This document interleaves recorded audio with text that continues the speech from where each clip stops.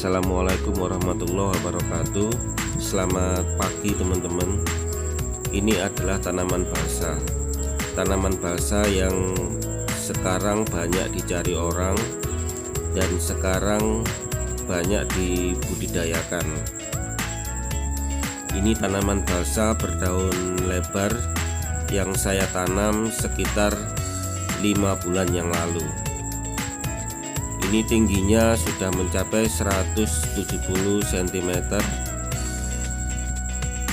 dan daunnya lebar serta batangnya berwarna hijau.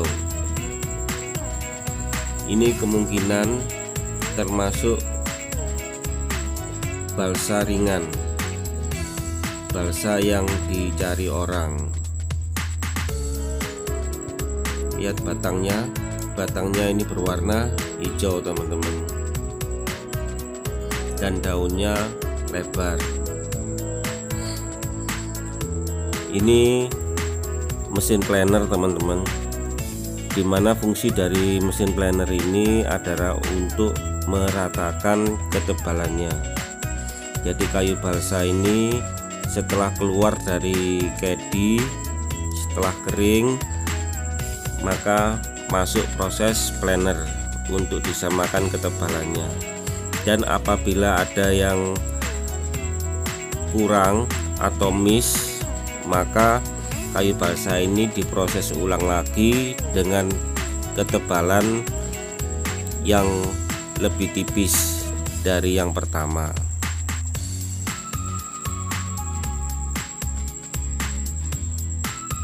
Ini adalah proses potong di mana kayu balsa ini dipilih bagian yang baik untuk selanjutnya dikirim ke proses packing. Dan ini cara memaking kayu balsa teman-teman.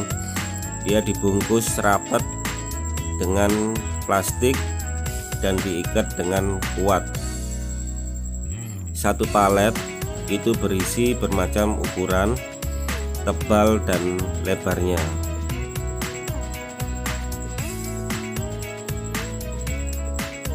Ini adalah kayu balsa yang baik teman-teman. Kayu balsa yang ringan itu kayu balsa yang seratnya itu berongga. Jadi seratnya tidak rapat kalau seratnya itu rapat kemungkinan kayu balsanya itu termasuk kayu balsa yang berat. Dan itu termasuk grade B. Dan harganya dengan balsa yang ringan itu juga ada selisih yang jauh saya coba lihatkan saya dekatkan kameranya. Semua itu berongga.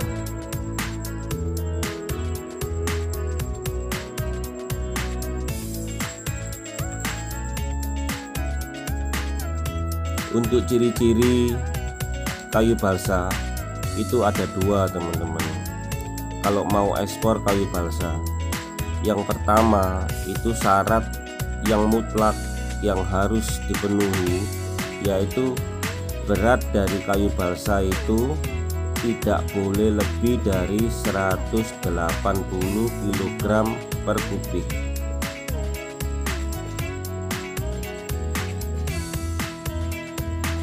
Itu syarat yang pertama. Untuk syarat yang kedua kayu basanya harus putih dan tidak boleh blusting nah ini semua berongga teman-teman. Semua berongga. Dan dalam satu palet itu biasanya sudah diberi ukuran densitinya berapa per satu paletnya. Ini barang kayu basah yang siap ekspor teman-teman Sampai di sini teman-teman video saya tentang kayu balsa. Semoga bermanfaat. Assalamualaikum warahmatullahi wabarakatuh